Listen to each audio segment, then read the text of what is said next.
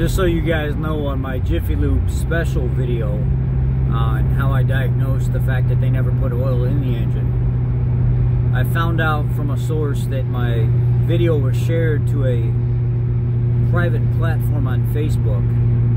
And I'm getting a lot of people from this platform that are starting to trash the video as of about 30 minutes ago.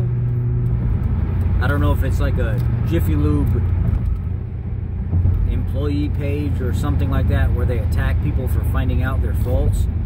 But guys are messaging my channel like, oh, look at 4 minutes and 32 seconds. There was oil on that filter. There was no oil on the fucking filter.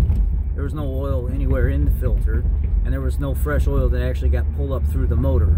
Even when I took my finger and stuck it inside the bottom of the actual gerotor oil pump, it was all dirty oil that came out. It didn't even match any of the oil that was in the pan. So if you guys see me deleting people from the channel or comments being deleted, it's because these guys are asshats that came out of nowhere.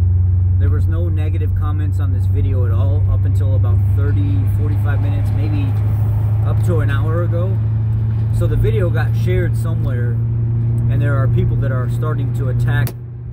Oh crap something got thrown off that guy's trailer and hit my vehicle. Anyway, there are guys that are starting to attack the channel, and I, you know, the only thing that I know to do is just block the people on the channel.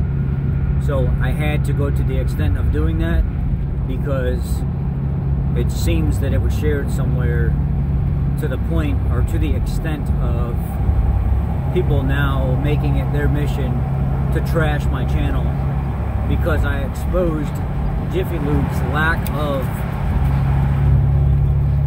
doing their job. I just wanted you guys to be informed.